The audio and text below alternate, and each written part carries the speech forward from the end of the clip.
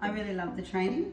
Um, I guess when I came to the training, I was really worried that I wouldn't be smart enough. I really found it easy to understand, really interactive.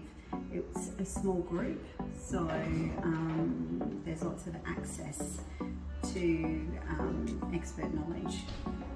And I think STARS is an organisation where there is, you know, these are the Liked that it was a really small group um, it did really stretch me in my thinking at different times, but not too far. Um, I really liked the interaction of, um, of doing neurofeedback on each other and on our, ourselves. It was a really safe environment to really see that this is going to be something that um, helps a lot of my